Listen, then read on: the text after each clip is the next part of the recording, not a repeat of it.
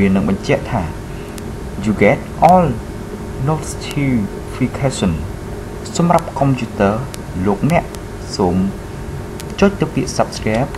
ហើយចុចសញ្ញាកណ្ដឹង នោះវានឹងលោតដាក់ថា get a notice about every new video គុំកម្មកាន់ channel របស់យើងខ្ញុំផងដែរបើចឹងនេះគឺជាព័ត៌មានថៃទៀតហើយដែលតកតងជាមួយនឹងតារាសម្ដែងម៉ៃដាវីកា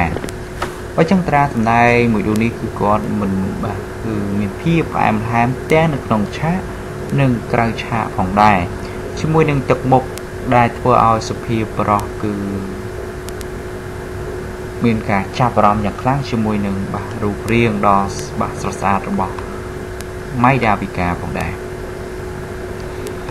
បើចឹងយើងទៅទស្សនាកំសាន្តស្ដាប់ទាំងអស់គ្នាជាមួយនឹងតារានៅក្នុងប្រទេសថៃផងដែរ ថៃដូចដែលប្រិមិត្តបានជ្រាបមកហើយថាតារាសម្ដែងទេច័ន្ទតាវិតនិងដាវីកាកំពុងតែមានទំនាក់ទំនងស្នេហាជាមួយគ្នាអស់រយៈពេលប្រមាណខែកន្លង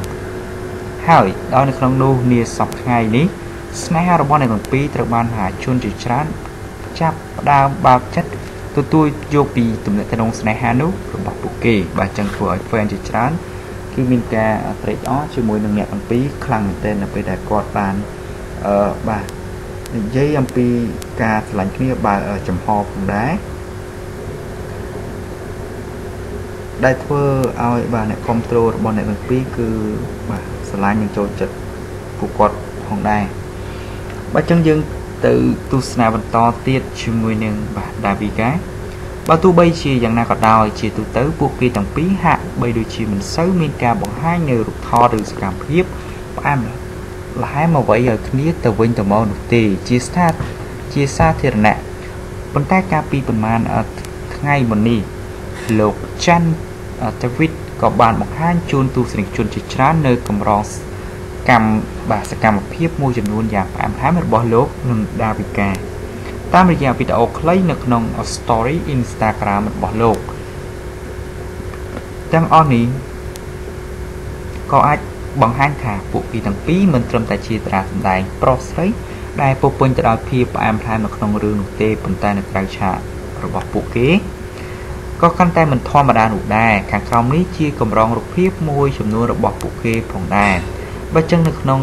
story របស់លោកចាន់តាវីត គឺមានការ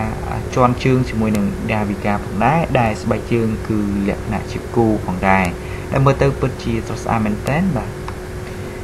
ដែលនេះគឺជាការបង្ហាញអំពីបាទលក្ខណៈកាន់តែផ្អែមល្ហែមជាមួយនឹងបាទគូសង្សារមួយគូនេះផងដែរដែលធ្វើឲ្យបាទអ្នកបាទគ្រប់ត្រូលរបស់គាត់ទាំងពីរគឺមានការពេញចិត្តជាមួយនឹងគូសង្សារថ្មីមួយនេះផងដែរ បើចឹងខ្ញុំសូមបញ្ចប់ព័ត៌មានមួយនេះផងដែរសូមចុច Subscribe បានលើ Channel ហើយចុចសញ្ញាកណ្ដឹងដើម្បីទទួលបានវីដេអូមុនគេបង្អស់នៅពេលដែល Channel របស់យើងខ្ញុំបានបង្ហោះនៅលើបាទបណ្ដាញសង្គម YouTube ផងដែរ